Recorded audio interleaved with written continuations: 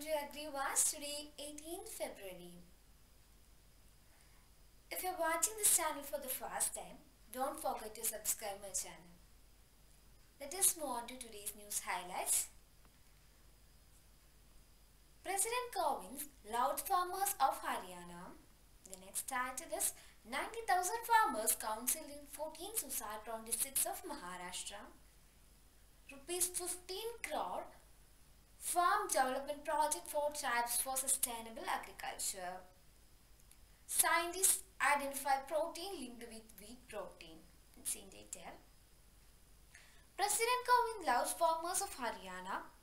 Praised the farmers of Haryana for adopting new methods to manage stubble and crop residues as he honored some of them with Kisan Ratna and Krishi Ratna awards. Stubble burning by farmers in many states has been one of the major cause for air pollution for years. Prompting the governments to ban the practice and encourage the growers to adopt alternative ways to manage crop residues. 90,000 farmers counseled in 14 suicide-prone districts of Maharashtra. The Maharashtra government has said over 90,000 farmers in 14 suicide-prone districts of the state have been provided counseling under the project called Prerana. Prerana which has been underway since 2015 to stop farm suicides comprises social workers, psychiatrists and accredited social health activist scheme that is ASHA accredited social health activist scheme. Workers who counsel farmers suffering from depression. The next title is Rupees 15 crore farm development project for tribals for sustainable agriculture. The scheduled tribe development department will implement a rupees 50 crore project in the next financial year for tribal people. It will be steps to start sustainable agriculture and allied activities on land owned by them and with records of rights. Special focus will be on rejuvenating the farms under the control of department and that of the agriculture department in tribal areas like Aralam in Kannur, Sugandhagiri in Wayanad and which are under the Attapadi Cooperative Farming Society in Palakkad which are in Kerala.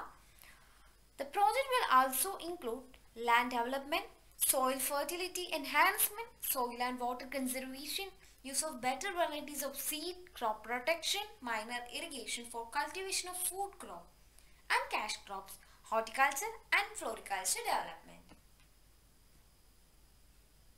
Let's move on to the next item.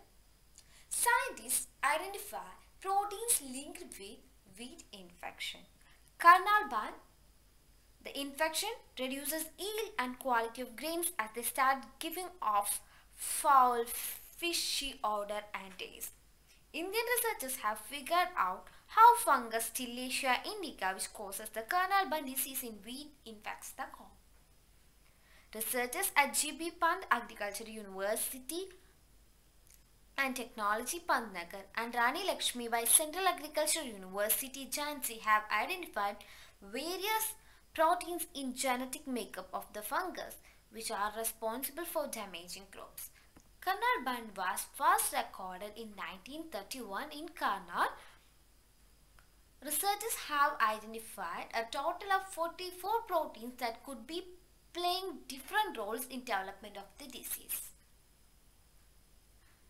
These proteins plays roles such as suppression of host defense responses, degradation of the plant cell wall, adhesion of pathogen to host tissue and detoxification of the host generated reactive oxygen species.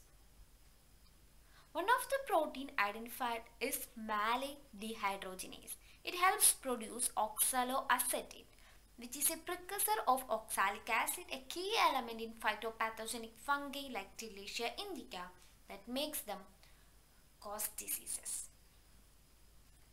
And the crop of the day is barley. Its scientific name is Hordeum vulgare and the chromosome number is 2 and equal to 14. It's a rabi crop. There are, two, there are two types, two rod and six rod type. the protein content is 11.5% and this barley crop is mainly tolerant to alkali and saline soils. The varieties are Aza, Amber, Kailash and Dolma is a huskless variety. That's all today's news and crop. Uh, thank you for watching this video. If you are watching this video for the first time, don't forget to subscribe my channel. Then you can click the bell icon so you will get notified for every update. Stay tuned